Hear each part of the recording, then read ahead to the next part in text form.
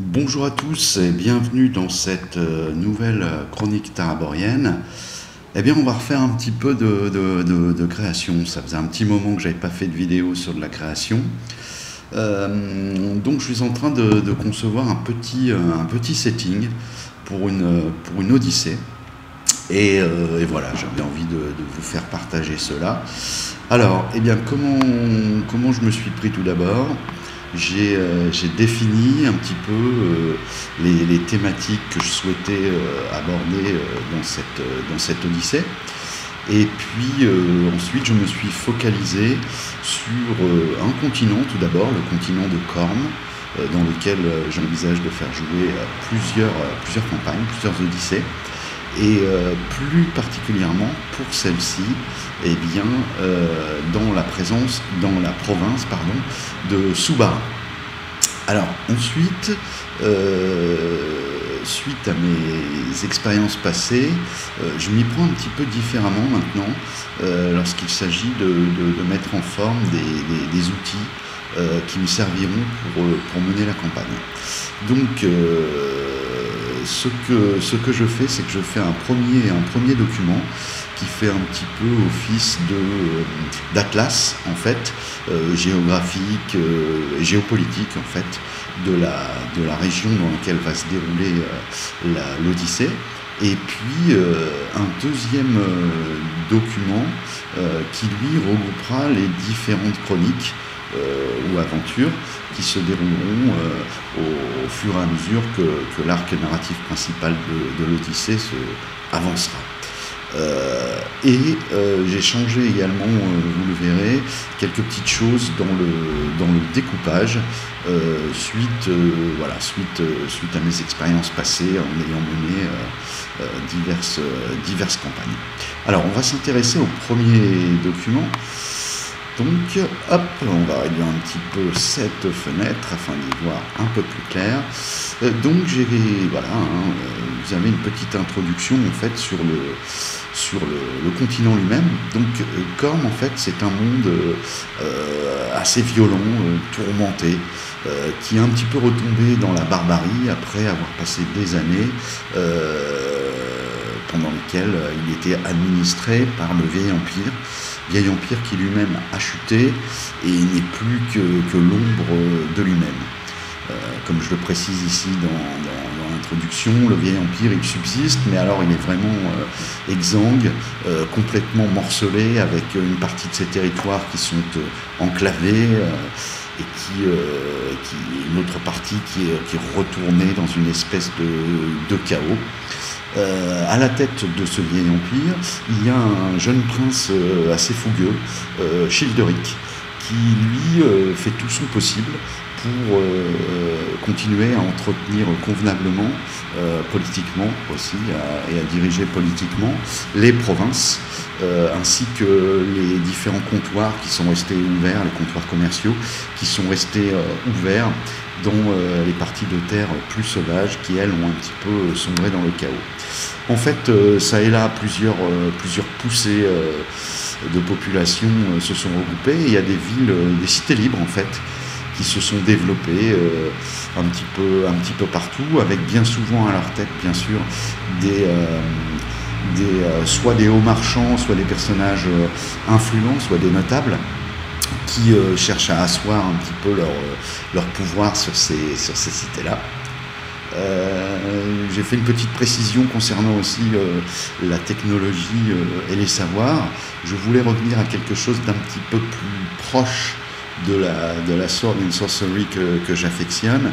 Par conséquent, euh, je pars du principe que euh, les savoirs et la technologie ont un petit peu reculé au cours de ces dernières années, euh, notamment avec, à cause de la chute de l'Empire. Dans certains endroits, il y a même des superstitions un peu obscurantistes qui, qui se sont soudainement réveillées et quelques cultes euh, un peu malfaisants et malsains qui ont commencé à rassembler de plus en plus de, fidèles qui sont en mal, euh, en mal d'équilibre en fait, euh, conscients l'Empire a disparu et qu'il va falloir continuer à s'organiser socialement, politiquement, pour, pour, que la vie reste,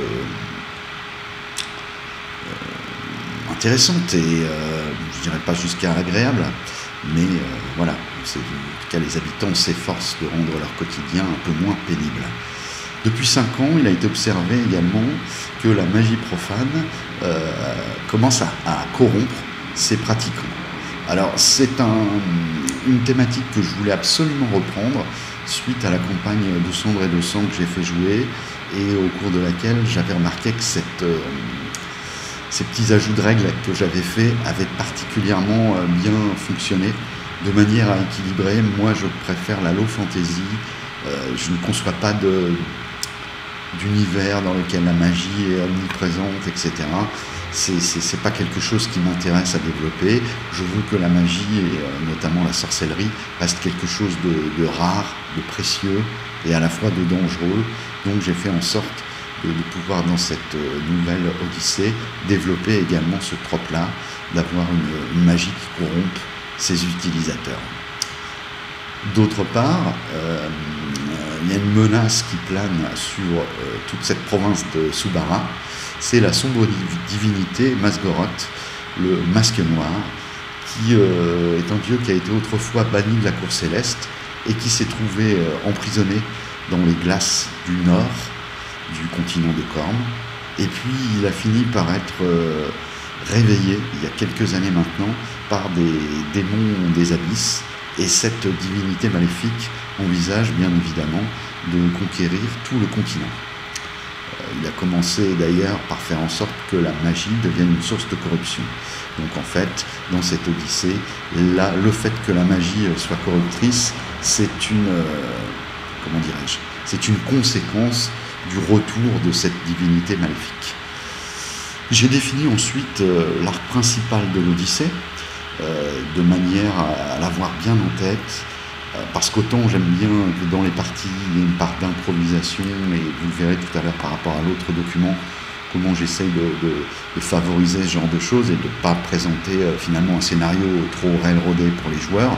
Je veux que vraiment les décisions prises par les joueurs en termes tactiques, mais aussi en termes stratégiques et politiques, euh, soient payantes et aient une réelle, un réel impact sur ce qui va se dérouler dans la campagne.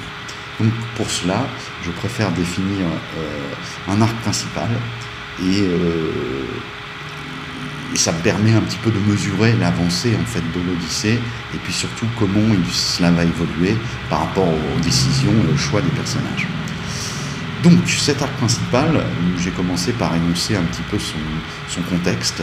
Donc depuis la chute de l'Empire, une implacable lutte de pouvoir s'est déclenchée pour savoir en fait qui va être amené à contrôler euh, le territoire. Plusieurs parties s'affrontent de façon plus ou moins ouverte, notamment pour s'emparer des trois cités. Alors je vous ferai voir au cours d'une autre vidéo, j'ai réalisé une, carte de la région, et il faut savoir que dans cette région, il y a plusieurs cités d'importance, dont trois cités euh, pour lesquelles on s'accorde à penser depuis, euh, des lustres que la personne ou l'organisme euh, qui, contrôlera ces trois cités sera en fait par voie de fait, euh, contrôlera tout le continent, puisqu'il s'agit des trois cités euh, les plus importantes. Euh, le dieu sombre Masgoroth a rassemblé une armée de créatures maléfiques et lui va miser donc sur la corruption qu'entraîne l'usage de, la magie pour affaiblir ses adversaires. Le vieil empire, lui, qui est mené donc par le jeune prince Fouqueux Childeric, souhaite avoir la main mise sur les villes importantes afin de ne pas voir la province lui échapper complètement. Il y a une autre faction très importante qui est celle du cartel des guildes. Hein, vous vous rappelez que dans l'Andrek, cette entité euh, politico-économique euh, a un rôle de premier plan, euh, voire même sur ce continent, il est plus important, le cartel est plus important en termes d'autorité et de rayonnement que, que, le vieil empire qui lui est complètement décadent. Eh bien, en fait, ce cartel, il s'est organisé, a un réseau plutôt complexe d'agents, de, faire valoir, de, personnes qui intriguent, de compagnies marchandes, etc. Euh, et lui, il entend bien sûr euh, parvenir à conserver ses prérogatives euh, et surtout garder la main mise sur les principaux échanges, commerciaux. Hein. il faut se rappeler que pour les gens du cartel des guildes, la principale source de pouvoir, ça fait partie de leur, de leur conviction vraiment les plus importantes, voire la plus importante, c'est de considérer qu'en fait, le pouvoir aujourd'hui sur Landbreak s'acquiert grâce aux échanges commerciaux et que finalement celui qui va contrôler la régulation qui va peser sur ces échanges commerciaux euh, risque d'être euh, la faction ou le parti qui a le plus, euh, le plus de pouvoir. Les opérations d'ailleurs de ce cartel sont rarement militaires, mais c'est plutôt des opérations diplomatiques, politiques, commerciales. Les grands marchands sont, les hauts marchands, peut les appeler de deux façons, sont régulièrement euh, reçus auprès de toutes les cours qui ont, en fait, euh, bien également pris conscience du, rôle, euh, rôle très important que jouent, ces, entités. De son côté, d'un autre côté, nous avons, puisqu'en fait il y a un archipel, l'archipel de Corrigan, qui fait face en fait euh, à la partie euh, sud-est du continent de Corme et donc cette partie sud-est, c'est la région qui nous intéresse dans cette odyssée, puisqu'il s'agit de la région de Subara. Eh bien, euh, dans ces îles, un pirate, un redoutable pirate, un vieux loup de mer, s'est constitué à une espèce de, retraite fortifiée. Il s'agit de Solokon Raikar, et euh, on raconte que son corps a été euh, sous l'emprise de la corruption, euh, se serait métamorphosé. lui, il est persuadé que sa flotte de pirates va un jour ou l'autre lui permettre de pouvoir contrôler tout ce qui se passe, tout ce sur la mer de Siar. Et donc de peser, voire de pouvoir un jour envahir même le continent de Corne. Nous avons également comme autre force en présence les prêtres Ubanti, qui eux ont profité, euh, sont un petit peu des fanatiques religieux, qui en fait ont profité de la réminiscence des superstitions ancestrales pour endoctriner une masse de fidèles de plus en plus importante. Et enfin, le dernier parti, c'est un parti plus, humain et euh, plus politique et plus stratégique. Il s'agit en fait du seigneur d'Arcos, qui lui a réuni tout autour de lui plusieurs barons et seigneurs de guerre qui en fait lui reconnaissent une certaine légitimité pour diriger la province et qui va tenter donc de prendre cette province. J'ai ensuite euh, précisé, mais vraiment, vous voyez très très rapidement un petit peu les, trois cités. Donc nous avons euh, Hippos, qui est le grenier du continent, qui produit euh, la plupart des céréales, les fruits, les légumes et la viande en très grande quantité, qui sont ensuite distribués grâce au cartel des guildes. Nous avons Helm, qui est l'un des principaux ports qui ouvre sur l'archipel de Corrigan. Et il faut savoir que l'archipel de Corrigan dispose de ressources minières qui ont toujours intéressé euh, euh, aussi bien l'Empire que le cartel des guildes à présent. Et enfin, nous avons Alcir, Alcir qui est une ville un petit peu particulière puisque c'est elle qui tient la frontière du Nord et qui prévient en fait euh, l'invasion des barbares de, de qui, qui projettent d'envahir par le nord également cette région et avec lequel la région est en guerre depuis oulala, des décennies et des décennies. Euh, jusqu'à maintenant, il y a une espèce de mur euh, construit et gardé qui est également euh, le mur nord de la cité d'Alcir et qui continue même au-delà de la cité pour éviter cette invasion des barbares du nord. J'ai ensuite défini, alors j'ai appelé ça les Stormtroopers. C'est un concept en fait. Euh, euh, derrière ce concept, je mets un petit peu les adversaires récurrents qui appartiennent à chacune des factions euh, qui vont représenter l'adversité pour, les, pour les personnages. donc j'aime ce, concept simple de Stormtrooper, il va désigner, vous voyez ici aussi bien les, les troupes de Masgoroth que les pirates de Solokan. Donc j'ai commencé à préciser, pour l'instant c'est encore à l'état de, note, hein, puisque j'en suis au début de, mon travail euh, de réflexion et de, réalisation sur cette campagne et d'écriture. Donc euh, Masgoroth, lui, euh, le dieu sombre, en fait règne sur une partie des îles de l'archipel de Corrigan. Il a d'ailleurs même réussi à concevoir un pacte avec le pirate Solokan Raikar et euh, une des principales euh, créatures qui permet à Masgorod d'avoir une véritable emprise physique sur euh, l'archipel de Corrigan, c'est une hydre, une hydre des miasmes, qui est très très puissante. et puis il y a toute une armée d'Adaros. Donc les Adaros, pour ceux qui ne connaissent pas, ce sont ces espèces de monstres qui sont un peu des hommes requins qui peuvent vivre un peu sur terre, un peu sous l'eau, et sont des guerriers armés de lances, particulièrement, particulièrement dangereux, notamment pour les humains. Et puis l'autre type de Stormtrooper qu'on va trouver, euh, ce sont les pirates de, de, Solokan. Donc ça peut être des pirates humains, des rogues, des voleurs, des, brigands, euh, que sais-je. Et puis euh, il y a également des, des Quotua, qui sont des humanoïdes monstrueux, aquatiques. Qui pourraient s'apparenter aux Adaros, mais voilà. Alors Quotua, bon, c'est plus des monstres qui appartiennent à la, troisième édition 3.5 de D&D, alors que l'Adaros, euh, comme vous le voyez, c'est un monstre extrait du bestiaire 3 euh, de Pathfinder. Euh, bah, tout simplement parce que avant de me lancer là-dedans, j'étais pas sûr en fait du système avec lequel je voulais m'autoriser cette campagne, m'autoriser en un seul mot. voilà. Eh bien, finalement, ce sera du, ce sera du Pathfinder. J'ai envie de revenir à quelque chose de de, plus tactique dans, le, dans les combats notamment. Euh, alors j'aime beaucoup euh, euh, l'aspect narratif, l'histoire en fait, hein, la trame, et puis s'intéresser à la vie et à l'évolution des personnages, mais je veux quand même que les combats restent tactiques. Voilà, encore une fois, mon expérience me fait dire que se lancer dans un jeu où les combats ne sont absolument pas tactiques sur la longueur, il y a un désintérêt il y a un désintérêt de la part des joueurs. Alors, bon, c'est sûr que le, prix à payer, c'est qu'il faut euh, du coup euh, des joueurs euh, qui ont envie de jouer en tactique et donc de rentrer dans cette espèce de jeu dans le jeu chaque fois qu'il y a une rencontre euh, qui, se, qui, va se traduire par un combat. Euh, voilà, il faudra, que je sois vigilant au niveau du casting pour m'assurer que chacun des joueurs a bien envie de jouer comme ceci. Et d'ailleurs, je fais un petit mix, je reprends également quelques, points de règle de la, version D&D euh, 3.5, qui pour moi est bien meilleure que la version 5 qui est... peut-être, j'aurai peut-être l'occasion de faire une vidéo sur euh, la version 5 de D&D pour, euh, pour me lâcher et vous dire tout le, tout le mal entre guillemets que je pense de cette version. Bon, en réalité, c'est beaucoup plus, euh, je suis beaucoup plus pondéré que ça, mais il y a quand même des choses qui ne me plaisent pas dans, cette version de, de D&D 5.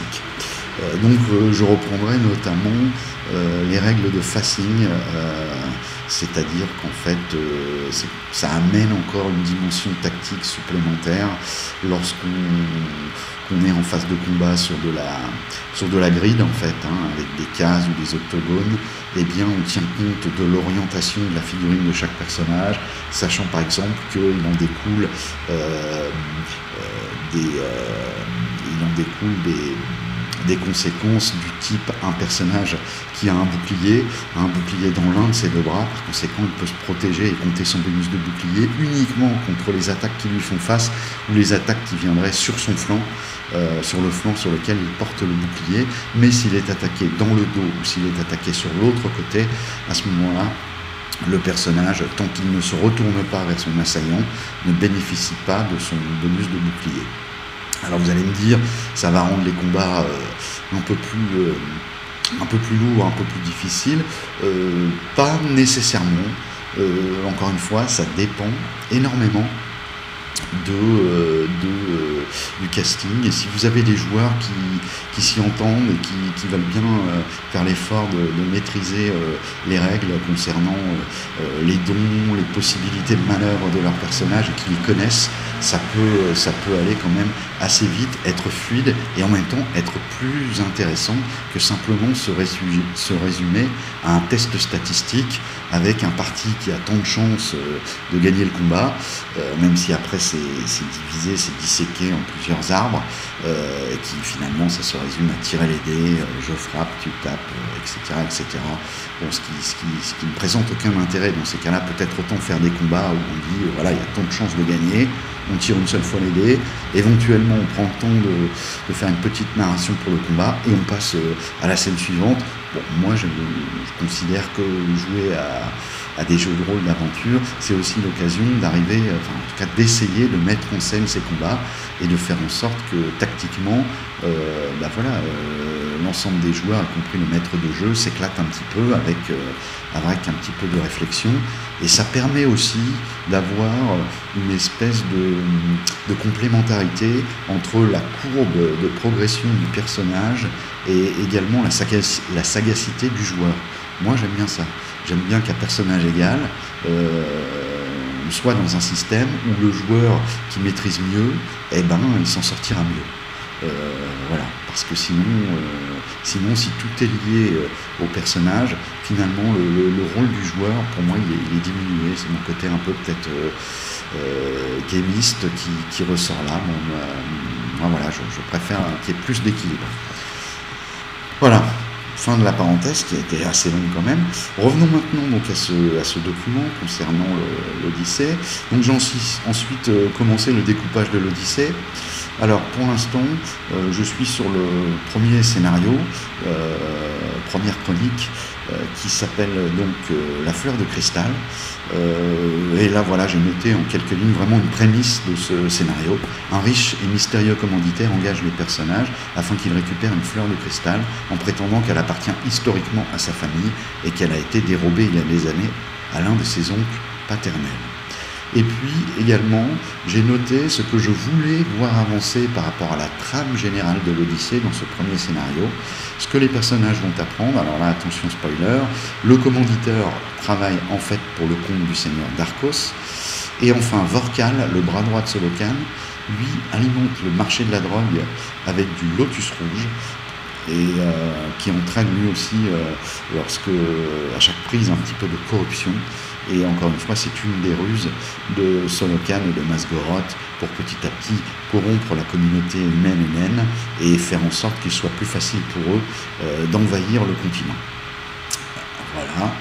Euh, bon là j'ai précisé, alors c'est encore en, devenir, euh, quelques, quelques règles maison que j'utiliserai pour faire jouer la campagne. bon j'ai un système de points de vie qui s'éloigne un petit peu du, système classique, sachant que moi je trouve que un jeu comme Pathfinder est intéressant jusqu'à un certain niveau. Après vraiment c'est trop c'est too much en fait. Euh, donc moi je veux pouvoir jouer une histoire qui va être longue dans la durée, avec des personnages qui progressent, et je veux pouvoir profiter euh, dès les premiers niveaux, pas être obligé de sacrifier les premiers scénarios à faire des, finalement des, scénarios avec très peu d'adversité parce que les personnages, euh, au moindre coup d'épée, risquent leur vie. Euh, par conséquent, en ce qui concerne les points de vie, euh, pour moi, les personnages, dès le premier niveau, auront comme point de vie quatre fois leur constitution, plus leur modificateur de constitution. Voilà. et par contre, ça n'augmentera pas. Ils auront ces points de vie même lorsqu'ils seront dans des niveaux supérieurs. Encore une fois, ça va permettre d'éviter les combats où euh, chacun des adversaires a plus d'une centaine de points de vie avec des combats qui durent des heures. Autant les combats tactiques sont très intéressants, autant il faut veiller à ce qu'ils ne soient pas non plus euh, trop chronophages, sinon on n'avance plus au bout d'un moment dans l'histoire de la campagne et euh, sur une séance de jeu finalement vous faites un combat et c'est déjà la fin de la séance de jeu. Ensuite, comme vous pouvez le voir, bah, je reprends euh, des règles de la 3.5 concernant notamment euh, la réduction des dommages. Euh, donc je prends ça dans le supplément arcane, arcane exhumé. Pourquoi? Bah, Tout simplement parce que j'ai trouvé que, c'était très intéressant. donc les armures accordent de la protection. Vous avez un peu moins de CA, mais vous avez également des points de protection qui sont déduits à chaque fois des points de dégâts que vous cause votre adversaire.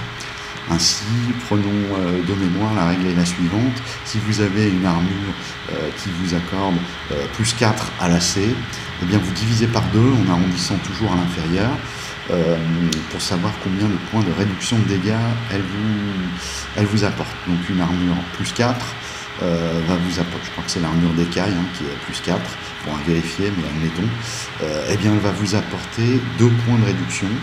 Euh, par contre, vous soustrayez ce nombre de points de réduction de la protection de l'armure en termes d'AC. Du coup, 4 moins 2, euh, voilà, vous aurez plus 2 à l'AC avec une armure d'écaille, mais également deux points de réduction qui seront soustraits à chaque dégât qu'on vous enlève. Ainsi, ça permet aussi d'éviter la course à la potion qui peut, qui peut survenir lorsqu'on est obligé de gérer énormément de points de dégâts, etc. Là, on va rester sur quelque chose de plus ramassé, euh, etc.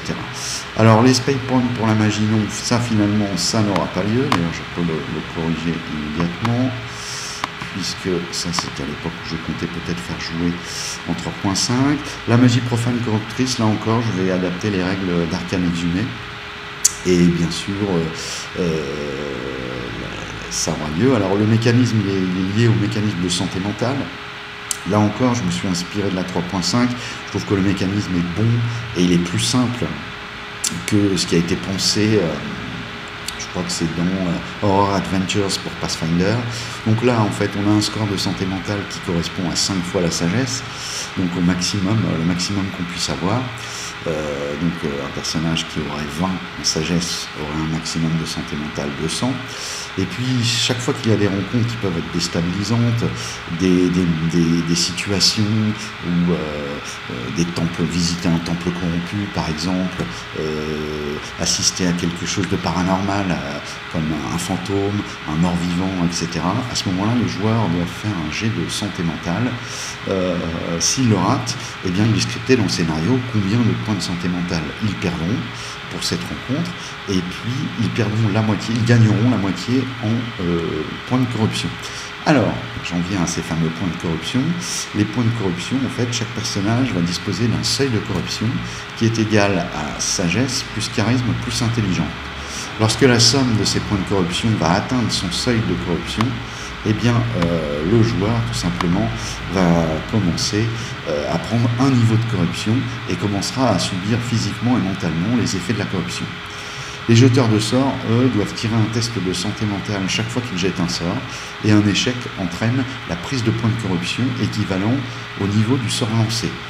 Euh, c'est-à-dire que si vous lancez un sort de niveau 4, et bien, si vous ratez votre jet de santé mentale, poum, vous prenez 4 points de corruption. Et puis enfin, dernier point, il est possible de réduire les points de corruption, euh, notamment en fréquentant certains temples euh, ou en buvant, euh, il y a également des potions qui permettent de, regagner les points de corruption. Vous avez également dans cet atlas des chroniques de cornes, voilà, les combats, les règles de facing, un petit panthéon qui est en construction, euh, voilà, on va retrouver Ga, hein, qui est le, père des dieux, euh, Silael, qui est la déesse de la nature et des forêts, euh, Miskor, qui est le dieu des nains et le dieu de, la pierre, Orbom, qui est le dieu du savoir, Akiran, qui est le, dieu de la magie et des mystères, Ujaril, qui est le dieu des voleurs et des intrigues, et Yomok, qui est le dieu de la mer. Voilà, il y en aura d'autres. Je les, euh, je les crée en fait avec leur domaine au fur et à mesure euh, que, je les, que je, les fais apparaître en fait dans, euh, dans mes scénarios. Enfin, on a quelques mots sur le vieil empire. Voilà, donc là je décris le vieil empire, je ne rentre pas dans les détails. Et puis, euh, Dramatis Personae qui va présenter les personnages importants. alors je vais mettre ici dans la classe de compagne uniquement les personnages importants et récurrents qu'on va trouver euh, euh, dans plusieurs chroniques. Un personnage important, mais à l'échelle d'une chronique seulement, euh, apparaîtra directement dans la chronique et ne renverra pas à cette classe, bien évidemment. Ensuite, idem pour les factions et organisations. je ne mets ici dans la classe de campagne que les factions récurrentes. Alors bon, parmi les premières factions que j'ai créées, bon, il y a les pirates, mais il y a également les traquemages. Alors en fait, c'est une confrérie, euh, les Traquemages, qui s'est formée un peu après que le Codex impérial ait fait fermer les académies de magie en raison de la corruption. Et le rôle principal, bien sûr, de ces Traquemages, bah, c'est de traquer tout simplement les sorciers et les mages qui continuent à utiliser la magie, euh, afin que cela euh, soit traduit devant les tribunaux. Et selon le motif de leur, euh, de leur traduction devant les tribunaux, et bon, ils vont risquer de l'emprisonnement, du bannissement, voire des, peut-être même des sentences euh, encore plus, euh, coercitives. Donc voilà pour ce, pour ce, premier, pour ce premier document. et bien sûr, il y a un deuxième document qui, lui, va traiter de la fleur, la fleur de cristal. Alors la fleur de cristal, eh bien, c'est le premier, euh, scénario, la première de cette, de cette campagne. Alors là encore, comment, j'ai, comment je me suis arrangé pour définir les choses? J'ai une introduction que je vais vous livrer. Et après, je vais vous montrer un petit peu comment je, comment je présente les choses pour que. Voilà, bon, c'est une façon, encore une fois, hein, chacun a sa méthode pour, pour, bâtir, pour construire ses scénarios.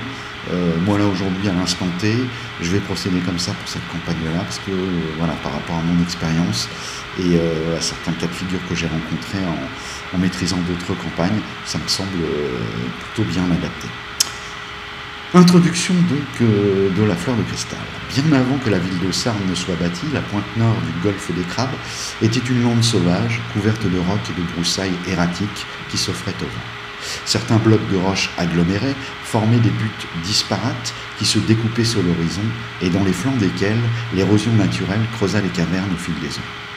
Bon nombre d'espèces sauvages ne tardèrent pas à investir ces complexes souterrains qui leur permirent, de se, de se mettre à l'abri et de se développer. Lorsque le vieil empire décida de bâtir une ville portuaire sur la pointe de terre afin de pouvoir affréter plus facilement des bateaux vers les îles de l'archipel de Corrigan, l'empereur d'alors dut dépêcher deux légions complètes pour prendre le contrôle des terres.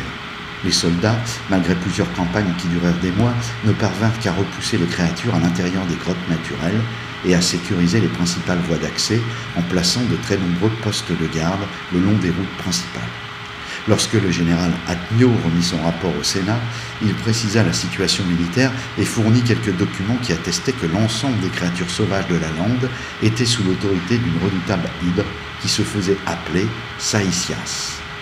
Grâce à son intelligence hors norme et ses capacités magiques, la bête était parvenue à s'octroyer le soutien des orques et goblinoïdes en tout genre, et elle jouissait, pardon, de la vassalité d'autres monstres encore plus féroces. Saïsias avait levé une armée de drôles qui, pour d'obscures raisons, sa, embrassé sa cause. Avec l'installation des premiers colons et le développement du commerce, l'ennemi se fit encore plus rusé et commença à infiltrer des espions dans les principales cités afin de pouvoir peser politiquement en disposant d'informations valides et fraîches. Régulièrement, les créatures réalisaient des raids sanguinaires contre les caravanes marchandes, pillant les marchandises et massacrant les équipages et leurs escortes de mercenaires. Toute la province de Subara, qui promettait d'être fertile et généreuse, se révéla en fait un domaine dangereux et une zone à jamais sensible pour laquelle le vieil empire doit mobiliser encore aujourd'hui des forces militaires considérables et redoubler de prudence. Avec le temps, l'hydre a trouvé refuge sur l'archipel de Corrigan, en pactisant notamment avec le dieu sombre Masgoroth et le pirate Solokon Raikar, qui lui aussi s'est installé sur l'une des îles de l'archipel. Alors là, vous voyez que c'est une introduction qui permet de faire le lien avec en fait l'ensemble de l'Odyssée. Vient ensuite maintenant une, euh, mise, en, scène euh, mise en bouche presque, devrait-on dire, euh, plus particulièrement centrée sur la chronique de la fleur de cristal. En aménageant une des cavernes de la côte, les équipes d'ouvriers de Solokan, Solokan ont fait une étrange découverte.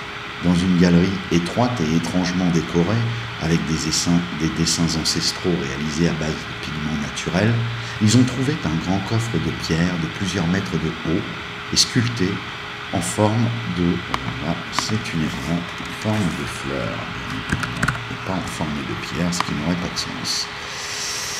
En parvenant à l'ouvrir, ils tombèrent nez à nez avec une fleur de cristal, recouverte de symboles cabalistiques. Après avoir réalisé quelques recherches, ils parvinrent à établir qu'il s'agissait d'un objet très ancien qui au départ avait été sculpté pour servir de blason pour la ville de Sardes. Finalement, l'offrande aux autorités de la ville n'eut pas lieu et son possesseur décida de garder la sculpture.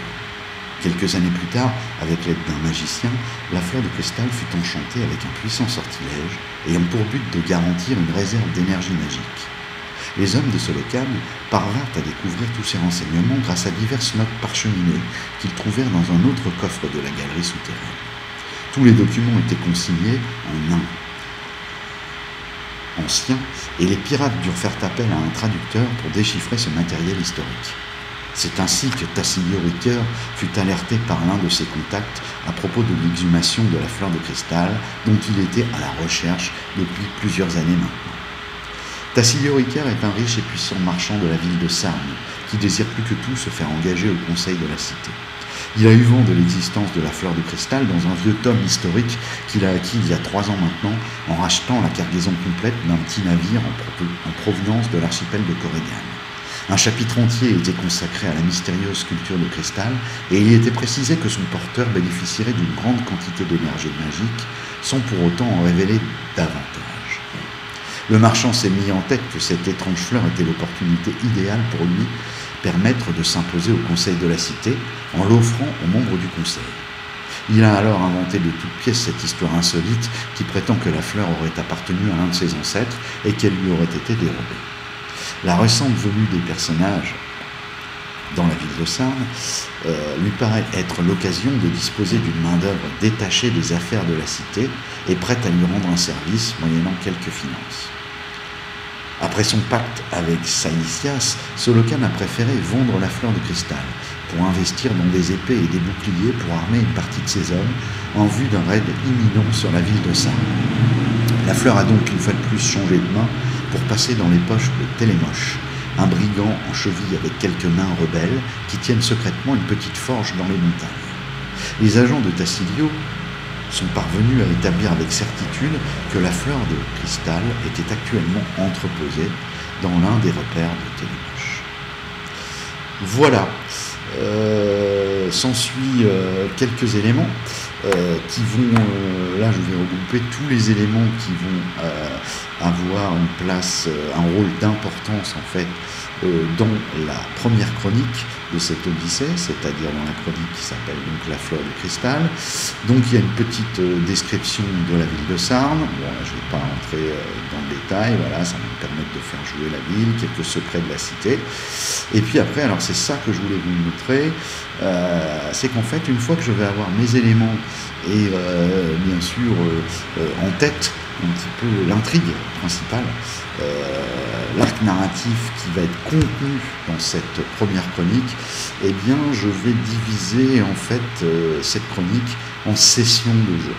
Euh, voilà, c'est ce que m'a appris en fait euh, l'expérience que j'ai faite en menant 200 et 200, où j'étais parti sur une découpe en termes d'aventure, de scénario, en fait, et où je me suis rendu compte euh, qu'en jouant, euh, moi je, fais jouer cette campagne en virtuel notamment, où les séances sont assez courtes, puisqu'on nous faisions des séances de 4 heures au début, et après nous avions même diminué les séances, nous étions revenus à des séances de, de 2 heures seulement, de 3 heures, pardon, eh bien je me suis rendu compte que le découpage en en aventure n'était pas le mieux. Là, je vais découper session par session, ce qui va me permettre d'une semaine sur l'autre, en fait, de pouvoir vraiment me focaliser euh, puisque j'aurai, euh, je saurai exactement où en sont les joueurs à l'issue de la session précédente, quels sont euh, les indices qu'ils ont trouvés, quelles sont les, intrigues dont ils ont eu vent, et puis surtout un petit peu que veulent-ils faire, quels sont leurs souhaits pour la session suivante. Ça va me permettre en fait de proposer quelque chose qui va ramener le rapport entre la préparation et ce qui va être nécessaire au jeu un ratio beaucoup plus intéressant. Inutile de préparer trop, trop à l'avance les séances. Dès lors que vous êtes clair sur euh, l'avancement de l'arc principal et dans l'aventure donnée, dans la chronique donnée euh, de ce que, de ce que voilà, de l'intrigue principale contenue dans cette propre chronique, qui elle-même a une incidence sur l'arc principal narratif de tout l'Odyssée, eh bien, vous avez tout ce qu'il vous faut. Il est inutile de tout préparer à l'avance, parce que euh, selon, euh, selon ce, que, ce que vont faire vos joueurs, ils vont appréhender cette aventure d'une certaine façon. Et il n'est pas du tout nécessaire de, vouloir les, contraindre avec une seule voie qui va mener à la, résolution. Euh, ça, ne fonctionne pas comme ça, en fait. C'est même, euh, d'après moi, le, meilleur moyen, euh, soit de faire une campagne peu passionnante pour vos joueurs, parce qu'elle ne va pas suffisamment, leurs décisions et leurs actes ne vont pas suffisamment impacter, en fait, directement ce qui se passe dans la campagne, soit de préparer moult matériel qui ne sera pas, utilisé, même si c'est vrai qu'on peut recycler. Ah, personnellement, lorsque je crée euh, un lieu tactique avec des rencontres, avec des pièges, avec des monstres, etc., euh, qui correspond à, une aventure, euh, c'est quasiment impossible de le reprendre tel quel parce que tout son contenu était poncé pour l'aventure, donc il faut réviser le contenu, etc., etc. Sa situation. Moi, j'essaie de, tenir compte quand même de la situation géographique de, chacun des lieux que je crée. Donc, ça, ne peut pas le remettre n'importe où non plus, etc., etc. Et donc, voilà. Donc, euh, un découpage plus, euh, plus naturel, en fait. Un découpage session par session, ce qui permet vraiment d'avoir accès euh, de façon précise, vraiment comme un horloger avec là vous allez pouvoir entrer, aller, aller bouger le petit pignon, la petite mécanique qui va faire que clac, en bougeant juste ce qu'il faut, hop, vous relevez le niveau d'intérêt de votre, euh, de votre session de jeu. Euh, par conséquent, euh, c'est un, un, comment on appelle ça? C'est un cercle virtueux. Si vos sessions sont passionnantes, intéressantes, bien équilibrées en termes avancée de l'histoire, simulation, enfin cohérence, parce que je mets derrière le terme simulation, et également euh, gamisme avec du gameplay, des choses intéressantes, des enjeux, des enjeux, euh, des conflits sociaux, des, voilà, des indices à trouver, de l'intrigue, voilà, de l'horreur.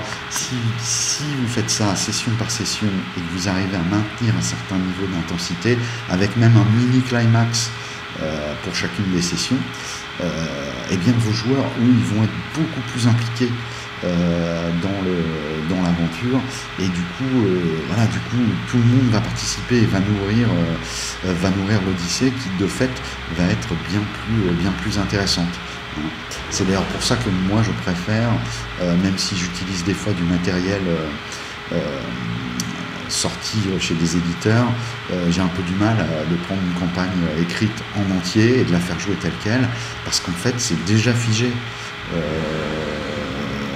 voilà, si vous prenez euh, même les, les Adventure Pass qui sont très bien faites en termes d'histoire, euh, etc., il y a une qualité, il y a des plans, il y a tout ce qu'il faut, l'intrigue généralement est bien, la rédaction est bien, les histoires sont intéressantes, ils classent ça par thématique, donc vous avez, là ici on va faire les pirates, là on va développer euh, plutôt le jeu d'horreur, là on va développer l'intrigue politique, etc., etc., c'est très bien fait. Sauf que euh, quand vous commencez à les faire jouer, euh, généralement, euh, dès le deuxième livre, ça part un peu en sucette. Et vous, en tant que maître de jeu, vous êtes là à ramener pour amener, pour ramener vos joueurs, entre guillemets, dans, l'aventure. Donc moi, je, voilà, je persiste à penser qu'une bonne campagne, c'est une campagne qui s'écrit au fur et à mesure. c'est la seule façon, de toute façon, c'est la, la seule méthode où vous êtes sûr, en fait, que les décisions, euh, les choix des joueurs euh, impactent réellement la campagne. Donc il faut des bases solides autour, des éléments constituants, euh, comme une espèce de, de, boîte à outils, de petites choses que vous pouvez sortir, des adversaires, des PNJ récurrents, une trame générale, mais après gardez-vous une marge de manœuvre la plus solide possible. Voilà, eh bien écoutez, euh, je pense que ça fait déjà un bon petit tour euh, d'horizon pour cette euh, campagne des chroniques de Corne. Et puis, bah, j'y reviendrai occasionnellement quand j'aurai un petit peu avancé. Je, continuerai, j'essaierai de continuer à faire avancer avec d'autres vidéos cette, création de campagne. Voilà, j'espère que vous avez passé un bon moment en ma compagnie et je vous souhaite une bonne fin de journée ou une bonne fin de soirée, voire une bonne fin de nuit. À très bientôt. Au revoir.